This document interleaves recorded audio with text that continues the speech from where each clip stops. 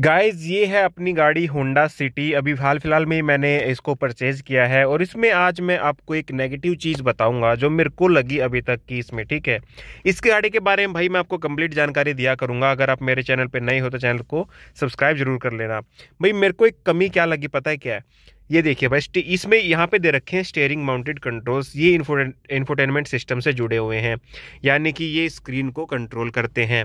लेकिन भाई अगर इसमें मेरे को सबसे बड़ी जो कमी लगी है वो ये लगी है अगर आप गाड़ी को ड्राइव कर रहे हो और आप आ, आपका गाना प्ले हो रहा है और आप आपका जो है गाने को पोज करना है ठीक है तो भाई उसका यहाँ पे कोई भी बटन नहीं दे रखा है ठीक है यहाँ पे वॉल्यूम दे रखा है आपको सोर्स दे रखा है सोर्स चेंज करने के लिए और ये आगे पीछे ट्रैक करने के लिए है।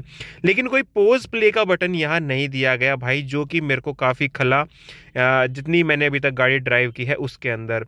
मेरे को डायरेक्ट इधर से ही जाके पोज करना पड़ता है पोज प्ले यहाँ पे करना पड़ता है। भाई मेरे को ये कमी मेज़र लगी इन्फोटेनमेंट सिस्टम के अंदर। बाकी आ, कुछ और भी चीज़ें हैं। भाई प्लस पॉइंट बहुत ज़्यादा है इस गाड़ी के। आ, तो भाई प्लस पॉइंट दुनिया बताती है। हम भी बताएँगे। लेकिन भाई थोड़ा सा एक नेगेटिव बता देता हूँ। मेरे को यहाँ पे एक बटन ज़रूर चाहिए था कि मैं उसको यहीं से पोज प्ले कर लूँ। क्योंकि कहीं अगर मेरे को इमरजेंसी में ज़रूरत पड़ती है तो मेरे को वहीं उंगली लेके जानी पड़ती है। तो भाई ये मेरे को काफ़ी बड़ी दिक्कत लगी होंडा सिटी के अंदर। आपका इसके बारे में क्या कहना है, आप मेरे को कमेंट सेक्शन में ज़रूर बताना। अगर आप हमारे चैनल पर नए हो तो चैनल को सब्सक्राइब ज़रूर कर लेना। मैं इसी तरह की इन्फॉर्मेशन इन्फॉर्मेटिव वीडियो आपके लिए लेके आता रहूँगा।